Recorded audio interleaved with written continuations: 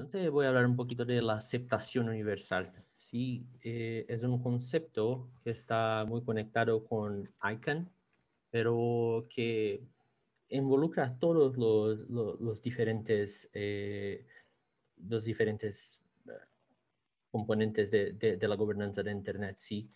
Eh, y voy a hacer una distinción muy, que me parece muy importante, que es la cuestión de script versus lenguaje, que no hablamos mucho de esto, pero un script es una cosa muy específica, un lenguaje es otra cosa muy específica. Entonces, cuando los conjuntos de elementos base o símbolos definidos como A, E, I eh, son, son parte de un script, pero, se, pero en el japonés, por ejemplo, eh, es na, ni, nu, y tiene una representación completamente diferente, ¿sí? Y también eh, tenemos el lenguaje, la, la, situación en que utilizamos los scripts para comunicar alguna cosa específica como hola, ¿qué tal? Sí, o el, el mismo en japonés, que es konnichiwa, genki desu ka. Sí, eh, son, son todas maneras de, de, comunicar, pero de manera muy, muy distintas. ¿sí? Entonces, un ejemplo es que el coreano es un idioma que usa el script Hangul. ¿sí? Eh, y cuando pensamos en esto, eh, tenemos que pensar que la realidad de América es muy distinta de la realidad de, otras partes del mundo, porque acá utilizamos fundamentalmente el ASCII, ¿sí? Pero eh, eh, tenemos un mapa acá con todos los IDNs asociados a nombres de, países, ¿sí? Los CCTLDs. Entonces, eh, son 62 ah, aprobados, como pueden eh, eh, ver, es, un montón de, diferentes scripts eh, en diferentes regiones que son la manera de se comunicar de las personas de, este, de los distintos países. Entonces, la solución hasta ahora puede ser, no, tiene que se comunicar en ASCII, está bien. Pero para, para se, se, se, nuestra, nuestra intención es, e, es como eh, eh, eh, contornar la, la, la, brecha digital, es lo más, ¿cómo hacer esto? Porque para muchas personas no es una opción, ¿sí? Ah, entonces, ¿cómo, cómo funciona la, aceptación universal? Uh, en 2011 se hizo posible la creación de URLs completas en caracteres no ASCII. Ah, la, tecnología que permitió esto es Punycode. ¿sí? Es, es un, como un wordplay en, en, la palabra Unicode. Y, y un ejemplo que, que, tengo acá es el sitio de China Mobile. El, sitio de Mobile en caracteres chinos se, se escribe así. ¿sí? Pero para, para, para todo el sistema de, de DNS, la cuestión es que esto no, no significa nada porque ah, no, eh, el DNS es ASCII. Entonces, lo o, que el Unicode hace es como una traducción eh, y para o, que llamamos de A-label, X, N y, todo más. Y para propósitos prácticos puede hacerlo tú, mismo con eh, el sitio bunnycoder.com. Eh, y puedes eh, eh, tener una experiencia de, cómo, cómo, cómo, funciona el Pony Code. Y un, un ejemplo que, que, que, me gustó mucho son, es de los caracteres indios, porque es un país continental, sí, con 22 idiomas oficiales, 13 alfabetos oficiales, y, y, y, las personas efectivamente se utilizan del inglés eh, en, eh, y uno o dos o tres de estos idiomas que tienen alfabetos eh, específicos. Entonces, como una política de, de, diversidad, el gobierno, el gobierno estableció que el, el, el, dominio punto Bharat, que significa República India, sí, tendría una serie de, de, variaciones, ¿sí? Eh, pueden ver los diferentes IDNs, son los scripts, eh, la lenguaje que está asociada a los scripts. Entonces, eh, tenemos que pensar que estamos hablando solamente de, un, país específico. Tenemos tanta, tanta diversidad en un país específico. Sí, tenemos la, percepción americana, y por, por americana estoy, estoy hablando de todo el continente americano, eh, es muy distinta de, la, comprensión que, que tienen los asiáticos, eh, eh, etcétera, porque no estamos acostumbrados, pero es una realidad que tenemos que, que, que empezar a, a, a, pensar, ¿sí? Y no es solamente la, que, la cuestión um, de, de, de, scripts, ¿sí? Tiene también las, que son, las cuestiones de los nuevos GTLDs, como llamamos, que son los no, no, tan nuevos, son muchos de, de 2012, 2013, pero no, no están totalmente aceptados. Ah, entonces tiene cuestiones, uh, acá yo, yo fue más específico con los GeoTLDs, ¿sí? Porque si tienes un, un, business en, en, en, Tokio, ¿por qué no eh, el nombre punto Tokio? Sí, eh, eh, son, son, posibilidades de, de, de, diversificar y de hacer un, un, un, aspecto diferente, una innovación en, en, los nombres de dominio, ¿sí? Entonces, cuando hablamos de aceptación universal, estamos hablando de, de los diferentes scripts eh, de los nuevos GTLDs. Y, pero está, puede estarse preguntando, pero ¿cómo se hace aceptación universal? No es muy simple. Infelizmente no es muy simple. Yo, yo soy un investigador, eh, trabajo ah, haciendo implementación de aceptación universal en diferentes proyectos. Eh, el problema es que tenemos que tenemos cinco etapas distintas, ¿sí? Tenemos que aceptar, validar, almacenar, procesar y, presentar. Eh, tiene un montón de, de, texto en, en, inglés, pero eh, eh, fundamentalmente estamos hablando acá de, de operaciones de, web, ¿sí? de, internet de web, que necesitas ah, almacenar las informaciones en, una, base de datos, y después tiene que, que extraer, pero esto, se, el input uh, parte de, un, de, un, navegador, sí son, son diferentes camadas, eh, porque es difícil, sí, porque no se trata de cómo funciona un solo componente, sino como toda la estructura de un software se ocupa de, de, de, aceptación universal. Sí, entonces se, se, consigue, se consigue aceptar en, en, el, en, el, navegador eh, si la, la, estructura web, sea JavaScript, sea o que, que sea, consigue validar, si no consigues almacenar en su banco de, de datos, uh, no, no, no, no, puedes proseguir. ¿sí? No tiene cómo procesar o, presentar. Entonces, eh, eh, hay, hay como una, hay dependencias muy específicas que, que, que son partes diferentes, distintas, que operadas por personas distintas, de grupos, eh, por veces que no se comunican, ¿sí?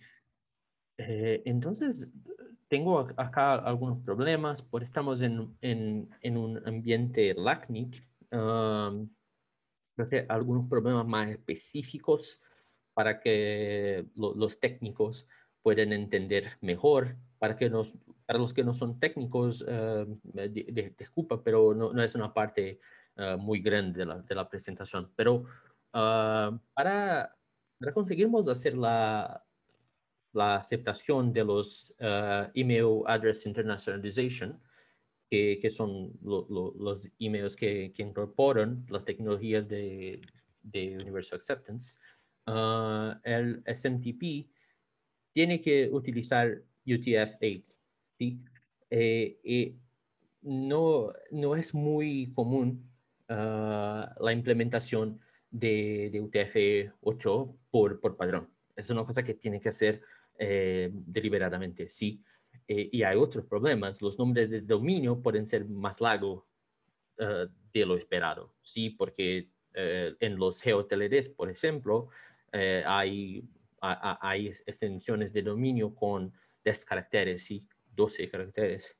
hay también una cuestión que esta, es muy, muy compleja, que es la escritura de derecha a izquierda, que es difícil de, procesar y también ah, ah, es un desafío de la perspectiva de, lo que pensamos normalmente ah, cuando, tratamos de, dominios de Internet.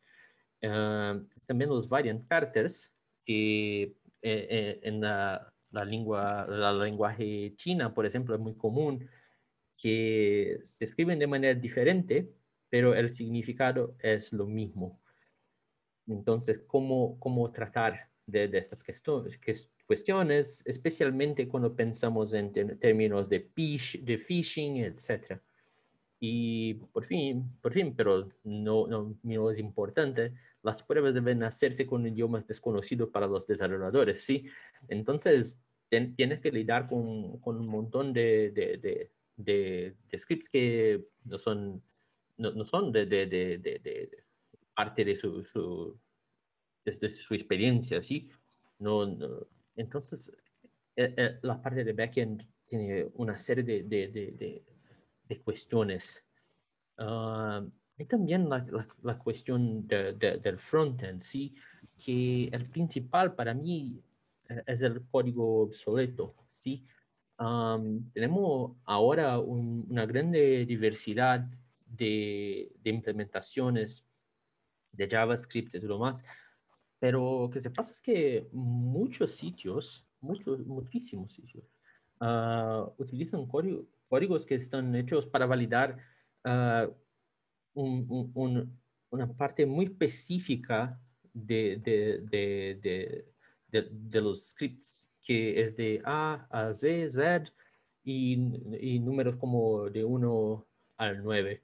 Sí, y, tengo acá algunos ah, ejemplos de nuestra investigación y para, los, que son desarrolladores eh, pueden observar que, son muy simples, eh, no, no, contemplan ah, mucho eh, y también por veces no logran éxito en validar uh, dominio que de 2009, 2008 como punto aero, que son muy más simples de lo que, lo que estamos hablando. ¿sí? Para mí, una cosa que, es importante de, traer para todos es una encuesta global que realicé con, un grupo de, expertos ah, que tenía la premisa, que parece simple, pero no fue tan simple, de hacer la evaluación del cumplimiento de lo, Universal Acceptance en los mil sitios web más visitados del mundo, según Alexa, mediante el muestreo de enfoques de desarrollo para el campo de email en formularios. ¿sí? Entonces, eh, básicamente, ah, visitamos los mil, sitios web más visitados del mundo y testamos diferentes maneras de, hacer, un, nombre de, email. Entonces tiene del más simples, que el caso ASCII, ASCII New Short, hasta el más complejo, que es el caso eh, RTL, como llamamos, de, de, de derecha para izquierda, eh, utilizamos el, el arábico. Y los, los resultados son muy interesantes porque eh, la, primera encuesta de 2017, ah, en comparación con 2019, ah, tenemos como, tenemos un cambio, tenemos un cambio expresivo en relación a los nuevos dominios que no, no, no, no, no involucran diferentes scripts. ¿sí? Entonces, para como los GeoTLDs que presenté, está un poquito mejor. Para los que son cortos en específico, está muy mejor. Para los, los que son más longos, mm, está mejor. Pero la, cuestión, la cuestión de la, de la internacionalización, los scripts eh, efectivamente eh, internacionales no están muy mejor. Si tenemos como, mucho de lo que, que observamos, eh, por ejemplo, en, en los, en los dominios Unicode, tenemos un pequeño progreso, pero se, tiene que partir de, de, de, del facto que eh, hay mucho, muy, muy poca aceptación. Estamos en 2020, eh, este padrón existe como a 10 años eh, y la aceptación es, cualquier cosa como 10%, 15%, es muy poco, muy, muchísimo poco. Y los, los problemas para los que son más ah, enfocados en uh, seguridad, tenemos la cuestión de, de, los homógrafos, que sí, eh, es una cuestión muy que, necesita de, mucha investigación. Sí, eh, para los que, los que no, saben, eh, hay caracteres que son, eh, en, términos de, visualización, son el mismo, pero de la perspectiva del Unicode son distintos. Entonces tiene este ejemplo en latín, en griego, en cirílico, nos parece el mismo, pero de la perspectiva Unicode son caracteres distintos. Entonces, es una cosa que puede ser utilizada para, para, para, phishing y todo más. Eh, tenemos un ejemplo real, ah, un caso de 2017, ah, un bug en Firefox y Chrome, y el sitio web de, de ejemplo es el epic.com, uh, que eh, son los desarrolladores del Fortnite, sí, que todos conocen porque todos los chicos eh, están, involucrados en Fortnite, sí. Eh, por mucho tiempo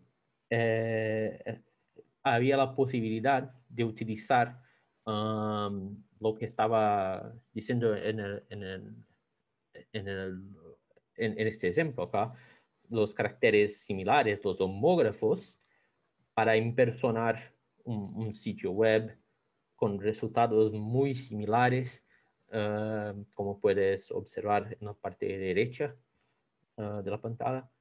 Entonces, es una investigación muy interesante. Hay, un link acá. Después, si, quieres más específicamente el link, puedes pedir.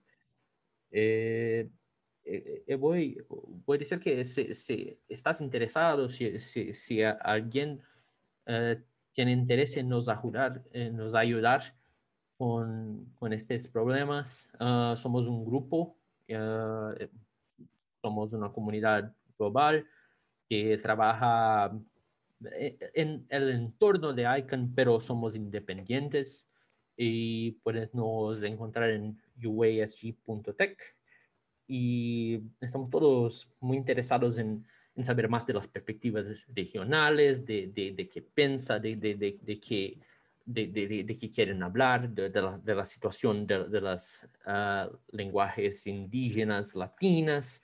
Y si, si quieren hablar conmigo o, o, eh, eh, tengo una colección de, papers también, puede uh, accesar mi, mi sitio o pedir para la organización que estoy muy interesado en hablar con todos que tengan interés también en, esta cuestión que para mí es tan importante, que es la, cuestión de la aceptación universal.